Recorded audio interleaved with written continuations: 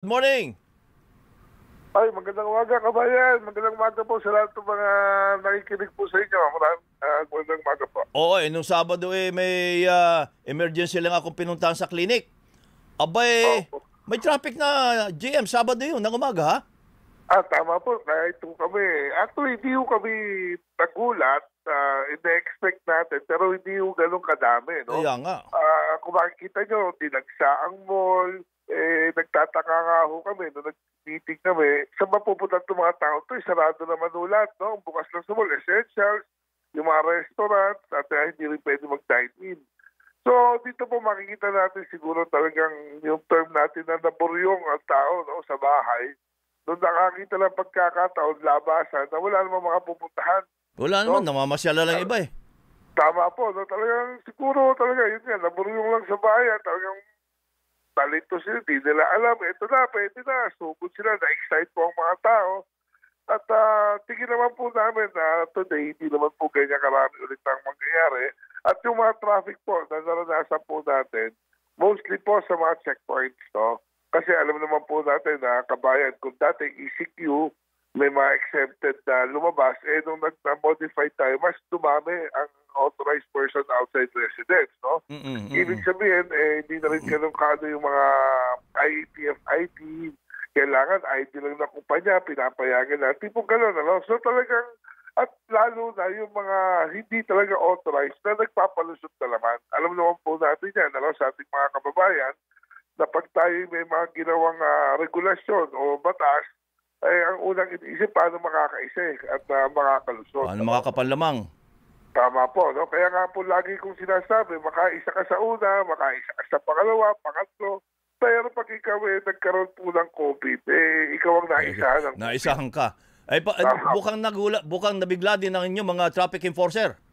Opo, kasi ang bulaga po talaga, eh, no? Pero anyway po kabayan, uh, actually, nung Saturday po ng, ng gabi, nag-usap kami ni General Elisar, no? Mm. Para ayusin din yung mga checkpoints. Kasi kung makikita natin, National Road like EDSA may checkpoint, dito po talaga nagkakaroon ng higpitan, eh, no?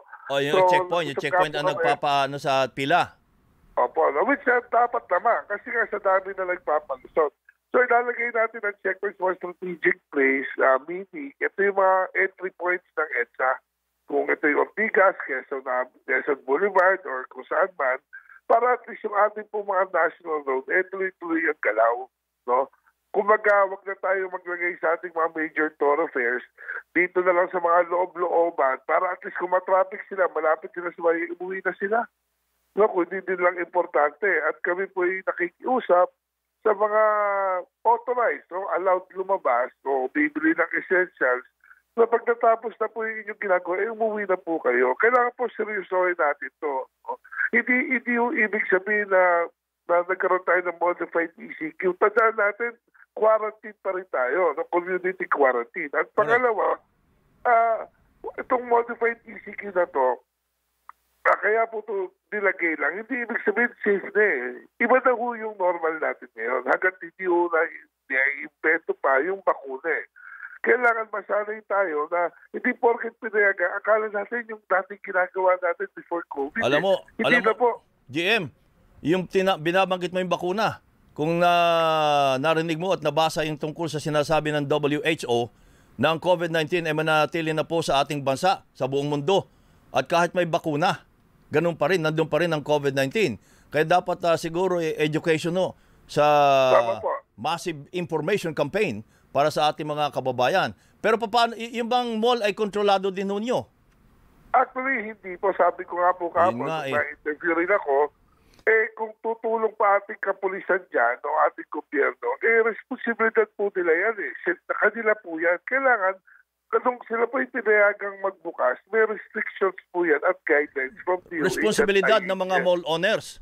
Tama po. Kaya nga po, Tama. diba, lagi nilang sinasabi rin na yung mga, mga ibang trabaho, kung wala kang pag-shuttle, huwag ka magbukas. No? Correct. So, Oh, so katulad po ng mga mall, kung hindi nyo kaya responsibilidad, no? Oo. Na pa, pa, paigtingin yung physical distancing, Oo. yung, yung mga mask kanya, no? Eh, wag ko kayo magbukas. Hindi nga, Kasi ang, yung baka- ang siguro ang pinaka the best dyan, may sasuggest lang natin, kung hindi nila kaya na kontrolin ang taong papasok sa mall, mukhang nagkabigla at hindi rin handa ang mga mall, eh pasara muna yung mall. Hindi, sila po mismo, wag na ho magbukas. Kasi may mga responsable naman po, ah, kabayan. Eh. Oko. Ito kasi sinasabi, huwag natin gawin ang mall, eh maging uh, center ng COVID, no? Alam naman natin yan eh. Kaya nga, lagi namin binibilin sa mga tao kabayan, paulit-ulit po tayo dyan kahit po kayo sinasabi nyo. Yung mga, yung mga ganyan po, kailang isa puso natin, bakit ginagawa eh? Ba't nagkakaroon ng regulasyon? Hindi po tayo gumagawa ng batas at regulasyon para lusutan. Ito po yung ginagawa para sa atin. Opo. Kailangan pag lumabas po kayo ng bahay, no, kung talagang hindi may iwasan, isipin nyo kayo po yung asymptomatic na positive. Parang ako po, no, nung, magkaroon po ako, inisip ko talaga kung paano hindi ako makahawa. Kasi mahirap din yung sinasabi ng iba ang mga lahat na makasalumuha mo, isipin mo positive. Pagkakaroon nun ng discrimination Ayun nga eh. Ayun nga. So, At saka wala, mo na ang- lang yung ang- sarili niyo po. ang nangyari sa atin, uh, GM, ay wala tayong mass testing. Kaya ang lahat ng lumalabas, hindi natetest yan kung siya ba eh, carrier na o hindi. Ah, actually po, maganda naman po yung nangyayari ngayon, yung ating pong mass testing, ano, ah, sa lalo lang sa NCR na simula na yan.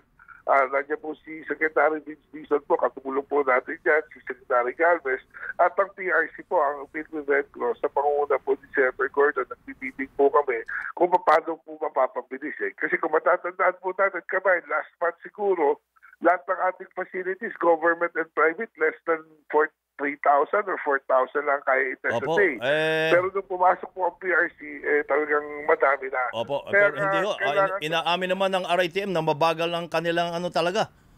Eh, hindi yung Ah, talaga sa mabagal. Kaya nagtatagal. Sa dami po, sa dami po ng volume. At uh, kung matatandaan, nung Kaya bago nga. pasok ang COVID, madami rin po siyang kawarantin sa kanila, no, mga frontliners. Sabi ko nga eh, eh, wala mo accepted dito kung ako mismo nagkaroon. Sana maging aral sa atin, magkaroon naman tayo ng konting takot. No? Tandaan natin, tayong mga asymptomatic like me, hindi ako masyadong kinakabahan sa Mm-mm. sarili ko dahil Oo. nalagpasan ko yan. Oh, okay. Kaya lang ang kawawa po dito, pag may nakausap kong mahina ang resistensya, may nakausap kong senior na, yan po yung fatal sa kanila. Opo. Kailangan po maintindihan lahat Opo. ng tao yan. Ah, GM, paano yung ah, public transport? Anong pinaka-latest? Yung public transport po under sa MECQ, wala pa po yan. No? Wala pa. Except yung mga tricycle po, ah, pinapayagan po sa mga inner roads yan. Kasi kung ang... Pero may ang social way of- distancing din. Ah, dapat isa lang po pasero niya, ha, kabayan. Saka may kailangan may parang plastic sila sa gig- ah, between the driver and the passenger. Bawat, bawal po ang back ride, ano? At uh, yan, kaya po pinayagan yan kasi may mga shuttle service po na pinapayagan. Mga shuttle lang muna sa, sa ngayon. So yung mga shuttle service, yung mga bus yan, malalaki. So pagdating sa either roads, kawawa naman yung mga kababayan natin. Kaya nagkaroon po, uh, naging considerate po ang uh, DILG po sa ganyan, pinayagan. No? Yung motor Pati bawal po- pa rin ang angkas sa GM. Actually, yun nga po ang Bawal yun. sinasabi nila, ano, ah, kabayan. Ang explanation siguro po dyan, dahil hindi naman po dahil sa social distancing, kung asawa niya, katabi mo yan sa, sa pagtulog, pagkain, ano. Kaya lang ang iniiwasan po talaga dito, kabayan, yung enforcement eh. Di ba? Kasi kung matatandaan nyo nung araw, pinagbawal ang habal-habal, lahat ng mahuli namin sinasabi, girlfriend, asawa yung sakay. Pero pag tinanong mo, ano pangalan, hindi naman nila alam. Ano? Kumbaga, ito yung dilemma ng. PNP natin Oh. at ah, sa checkpoint na para mas mapadali, mapabilis mo yung resources natin, hindi na ma- maubos kakasita bawat lang back ride. Ayaw. Eh, ini-standard na lang na wala na mo ng back ride. Hindi dahil sa sa asawa yan, hindi pwede. Ang ano po rito, yung sa dami na naman ulit na nagpapalusot, kabayan. Oo. Kaya nga, inaano natin ito, kung mga enforcement na nightmare yan, kung lahat ng nakasakay, ititignan mo kung asawa, kapamilya o anak. So para mas madali siguro at uh, mapabilis ang ating mga checkpoints, eh bawal na lang muna ang backride. No, sa dami lang, no? Kaya nga po yung mga tunay, legitimate, na talagang asawa yan, Mhm. Oo. naawa rin kami dyan. Kaya lang isipin natin yung dami Oo, ng pasaway. oo. Tama. Ano, kabayan? Yung Opo. mga nagpapalusot, eh Opo. yan ang problema talaga natin. So, at teka muna, ah, may nagpapatanong dito, number coding ba daw? Ano, lifted na ba daw o tuloy-tuloy pa rin? Ah, suspended po kabayan kasi nga po wala tayong public transport. Kaya na lang uwi Ah, na okay. ating mga kababayan para, para umalis. Opo. Okay. Maraming salamat po, uh, GM, at good morning. Ay, maraming salamat kabayan. Mabuhay po kayo. Good morning Okay. po. Thank you Oo.